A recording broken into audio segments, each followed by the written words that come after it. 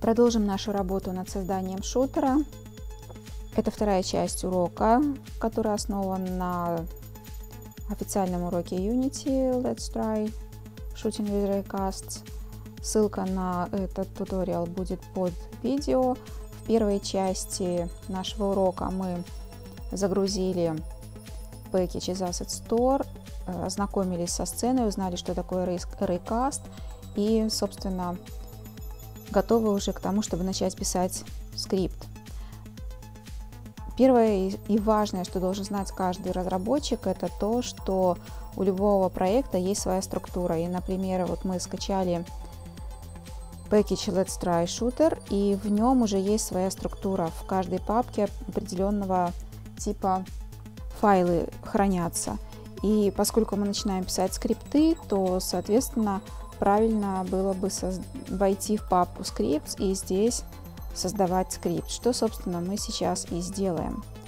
Мы не будем входить в папку Completed Scripts, это завершенные скрипты. Если у кого-то возникнут какие-то вопросы потому что должно быть в скриптах, можно, в принципе, посмотреть. Но мы будем создавать свои и писать практически все с нуля, за небольшим исключением. Для того, чтобы создать скрипт, э, мы в окошке Project нажимаем правую кнопку мыши, выбираем Create C-Sharp Script. Назовем наш скрипт Raycast Shooter.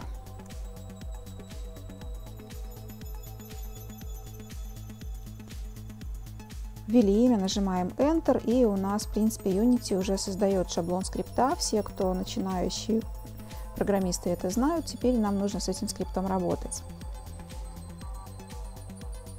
Чтобы скрипт выполнялся в проекте, он также должен быть компонентом какого-либо из игровых объектов на сцене, соответственно, нам необходимо этот скрипт прикрепить к игровому объекту.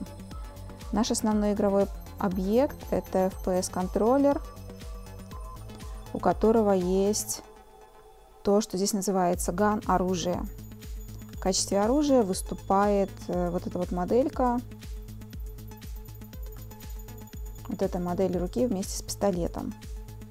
И, собственно, на этот объект мы сейчас прикрепим в качестве компонента наш скрипт. Чтобы это сделать, мы зажимаем левую кнопочку мыши на скрипте и перетаскиваем в окно иерархии. Вот когда у нас появился такой вот контур вокруг нашего объекта, отпускаем левую кнопку мыши. Теперь наш скрипт, мы можем убедиться, он находится в качестве компонента в окне инспектор. Вот он, Raycast Shooter. Теперь настал момент, когда мы должны начинать писать скрипт, и для того, чтобы писать код, нам необходимо запустить редактор. В данном случае в последних версиях Unity вместе с ним э, рекомендуется устанавливать Visual Studio и в ней, собственно, и писать скрипты. Для того, чтобы запустить Visual Studio вместе с нашим скриптом, мы просто двойным кликом по нему кликаем, либо в окне Project, либо здесь вот прямо в окне инспектор. Вот наш скрипт. И первое, что мы начнем делать, все, в общем-то, разработчики не любят вот эти вот стандартные комментарии, они их убирают, удаляют.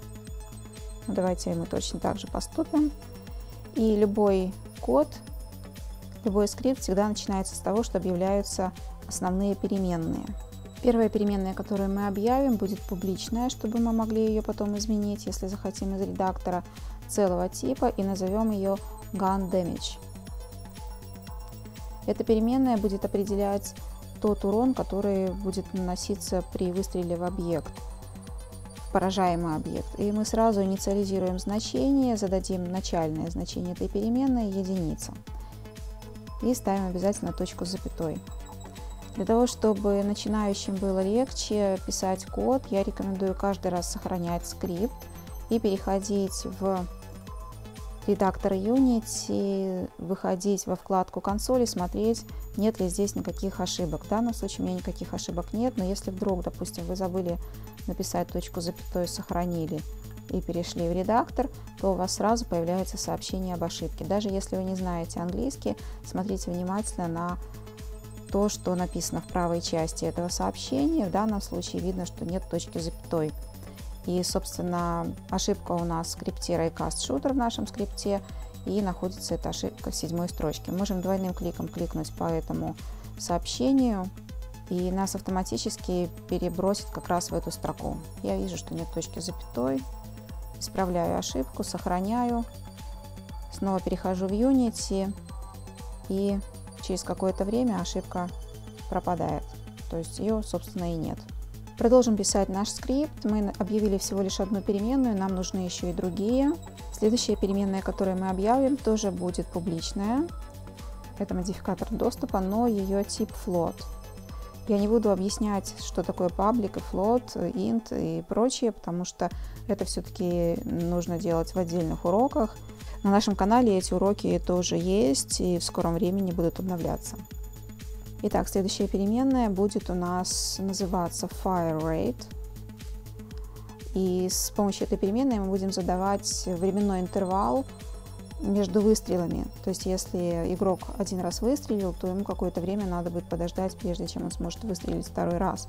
И поставим это значение 25 сотых. Если у нас float, пишем еще буквочку F и точку запятой. Обращаю внимание начинающих программистов, здесь у нас пропущена целая часть. Можно написать 0.25, а можно для того, чтобы сэкономить место, ну, есть такая традиция 0 не писать. То есть мы пишем просто точка 0, точка 25. Это означает 0,25. Опять сохраняем наш скрипт. Следующая тоже публичная переменная и тип float у нее также будет. Назовем ее weapon range. Эта переменная будет задавать то расстояние, на которое наш луч Raycast будет распространяться на сцене. Ну, грубо говоря, длина этого луча. Зададим значение 50f. И если Raycast будет проходить через поражаемый объект, на котором у нас будет коллайдер и rigid body, то на него будет воздействовать некая сила удара, и эту силу удара мы будем описывать, задавать с помощью публичной переменной, тоже типа float, которая будет называться hit force. То есть это ну, та сила, с которой мы будем сбивать наши кубики. И зададим начальное значение, инициализируем 100. Пишем также публичную переменную public типа transform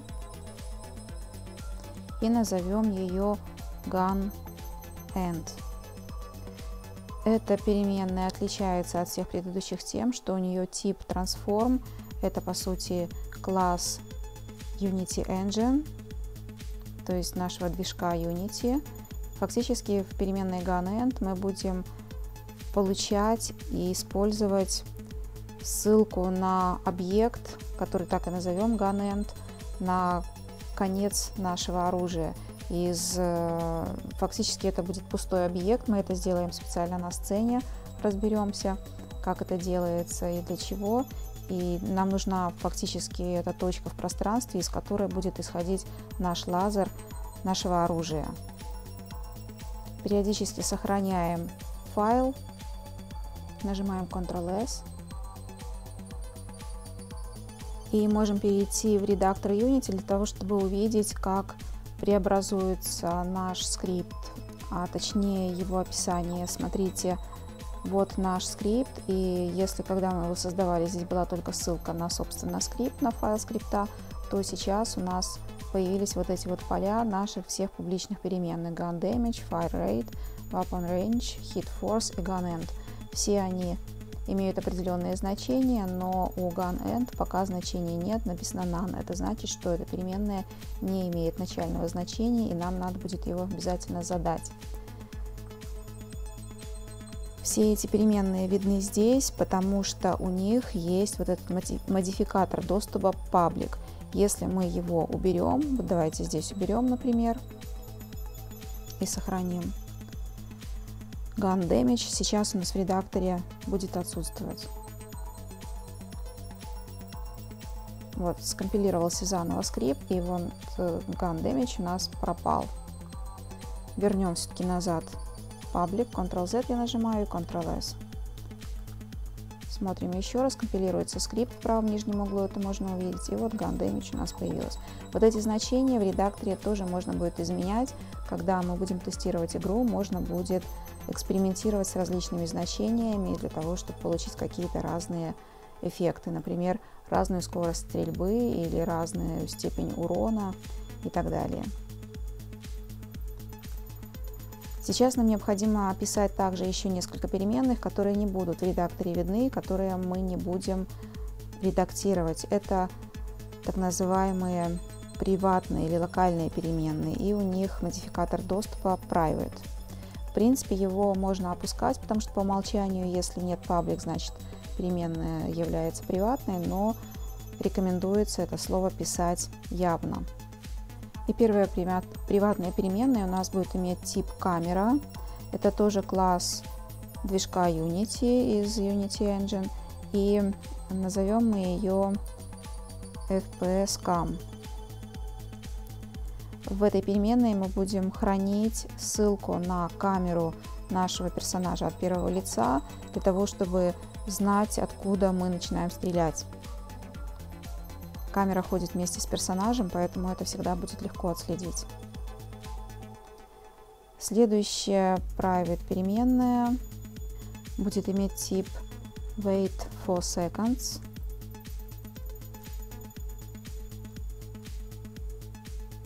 И назовем мы ее shot duration.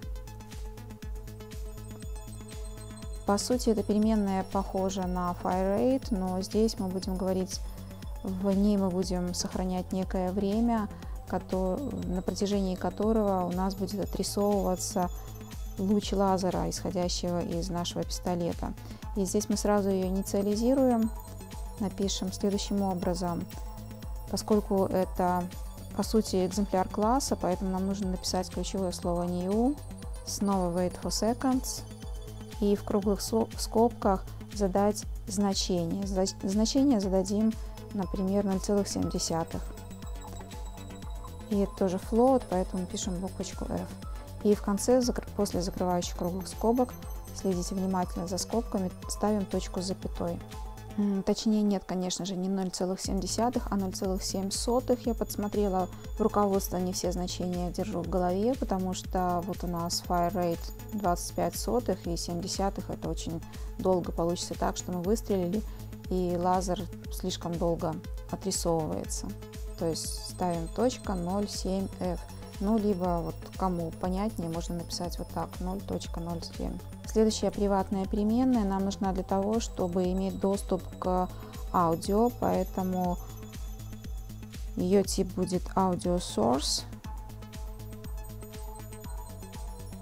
И назовем ее gun audio.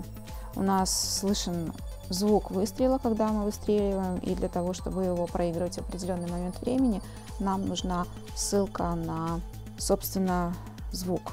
Во время выстрела мы будем отрисовывать лазер, поэтому нам необходима также еще ссылка на компонент, который называется Line Renderer. И назовем мы эту переменную Laser Line.